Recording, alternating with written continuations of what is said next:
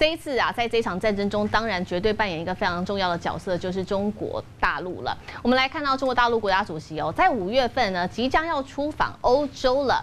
我们带观众朋友来看到，这一次出访欧洲有几个比较大的重点，就是在五月六号这一天呢，他会在巴黎来会晤两个人。第一位，欧盟执委会主席范德赖恩，还有呃，去年大家还记得吗？这个范德赖，他还给这个范德赖恩不好的脸色看，当他去访中的时候。那今年的状况我们也会来做持续观察。另外一位呢，他要会晤的就是法国总统马克宏。好，我们来看到马克宏，他这一次特别在呃即将要会面，那他们将在这一次会面上会请这个习主席啊来协助。当然最重要的就是现在国际关注的乌俄能不能来做一个调停。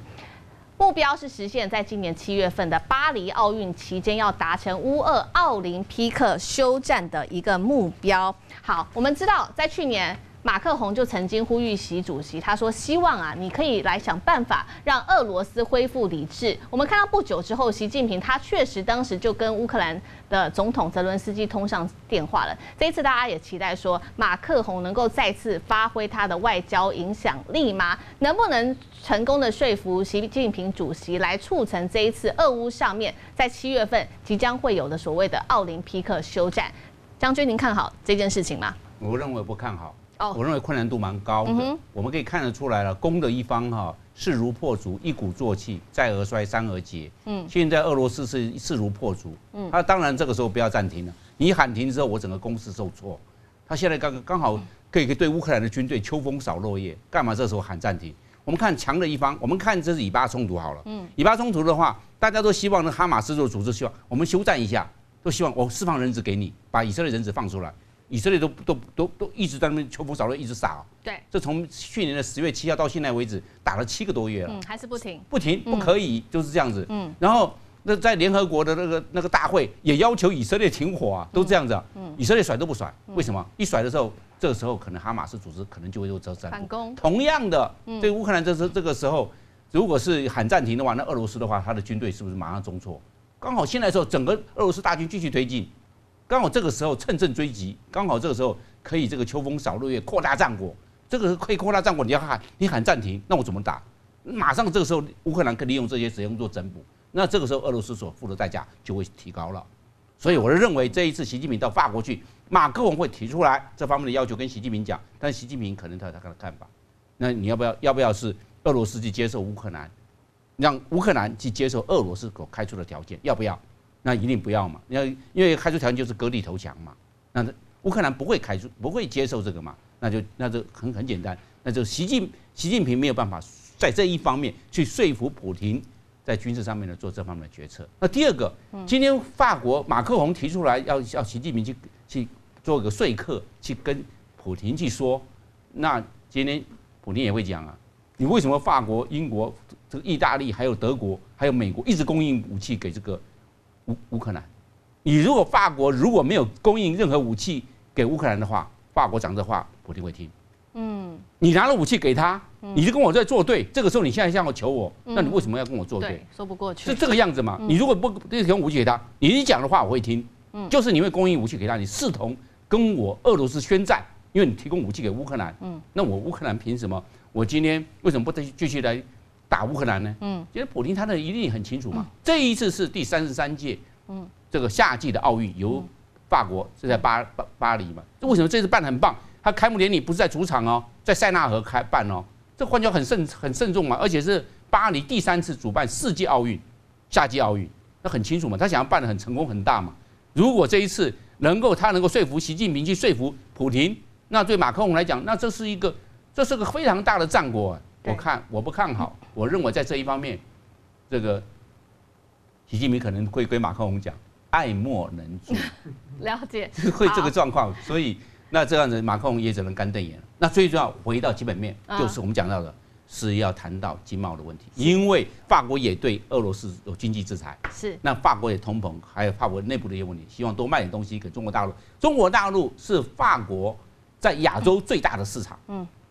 他们的最大的贸易有就在中国大陆，那那早那在亚洲过来的超包含超过日本，包括超过其他国家，那这就是这个中国大陆的市场。嗯，尤其我们可以看到飞机、空中巴士，嗯，就因为我们知道了波音公司出了很多的问题，嗯，那刚好利用这些时候买转单，那转单转到哪里？刚好是法国，法国利用这些时候，是不是在多买我一些空中巴士？然后有一些空中巴士，因为这个航空工业哦，它是个龙头，它牵扯牵扯到了非常多。我们知道航空工业在这一方面的这个这个市场的这种，它的各个的公司都要公布，就跟我们讲的房地产是是一个我们讲这个经济发展之母，因为它带动所有的工这个这个这个生产的。这个前进，但是法国的空中巴士带动周边的产业非常的旺盛。是，你不管是德达说啦，或者是我我们所讲到的这个 NBDA 啊等等，都要都有这个商机。是，所以法国今天呢，我们讲的不光是奥运，今天习近平进来了，希望习近平带着大量的订单。要跟法国下单是好，在就乌俄战事上，习近平主席现在要调停，他有他的困难处。不过，这个和欧洲的经贸关系确实比较有机会。我们来看到这个是中国驻法大使卢野莎，他在这一次针对习近平主席的欧洲行，他说法国是欧洲欧盟的盟利呃谋心核心大国，中法关系也是中欧关系很重要的一环。而且这一次啊，习近平他去欧洲的目的是要来希望。来抵制对华去风险跟降依赖，能够做到吗？刚刚也特别提到了，现在法国也买了许多，呃，提供了非常多的空中巴士，希望中国能够买单。老师，呃，当然，因为法国总统马克宏一直强调要要效法这个戴高乐，要走出一条独立自主的外交路线，所以这个当然使中国大陆不少人对他是抱以很高的期待。嗯，那当但只是说，我们要知道的就是说，呃，第一个。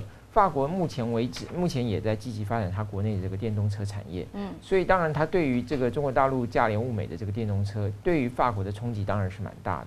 哦，所以法国能不能够全力支持这个的呃中国大陆，就是能够协助中国大陆的这个电动车商去克服目前现在欧盟进行的调查，我觉得这个当然是呃呃值得观察哦的。那第二个就是说，呃，他既然找了冯德莱恩，其实我觉得感觉上他也是。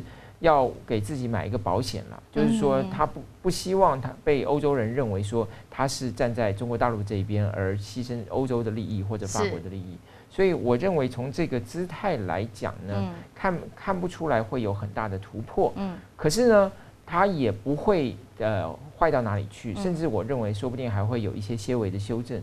为什么呢？因为整体第一个在这个呃前就是上周啊，王毅跟这个伯恩就是。呃，马克宏的外交顾问通话的时候，双方都谈到了，就是说，呃，希望有一些具体的合作，包括 AI 啦，或者包括气候变迁啦。其实法国也希望能够吸引中国大陆的这个企业来法国投资，嗯，特别是一些这样高科技的产业。第二个，其实整个欧洲，包括不要不只是法国，现在德国也希望鼓励中国大陆的投资，嗯，因为德国本来去年要提出一个加强外的外来投资审查的。但是最新的报道认为，提到就是有揭露说，现在可能这个构想也要放下来了，哦，就是怕说，因为有这个比较严格的规定呢，会影响到外国投资到德国来，当然主要是针对中国大陆来的投资，所以整个欧洲现在的氛围。那其实是希望中国大陆有更多的投资到欧洲来，因此在这样子一个氛围底下，对中国大陆的这个这个贸易调查呢，其实就不能下手太重。是，当然最后可能双方要找到一个下台阶了，是，就能够能够去解决这个双方目前所碰到的一些法规上的一些障碍。是，谢老师好。这一次中国大陆到这个欧洲行，还有一件很重要的任务就是“一带一路”，呃，针对两个国家。塞尔维亚跟匈牙利希望在那边能能够建立货运铁路，尤其是意大利退出“一带一路”之后，希望有一个新版图。b u s 怎么看？呃，这个显示中国也知道，不管西欧国家多少个，还或哪一个国家批评中国，目前跟中国关系变得比较不好。嗯，欧洲还是有很多国家，那里面一定会有。不管怎么样，一定会有几个国家还是会想跟中国交好朋友。嗯，这个中国也也知道了，所以这次他特别去 Serbia 还有 Hungary，因为这些国家目前他们的领导人是对中国比较好、比较友善。是是，谢谢 Russ。好，我们休息一下，马上回来。地缘政治、美中之争、战略价值、强权崛起、小国生存，现在与未来。上掌握世界脉动全球观点尽在环球。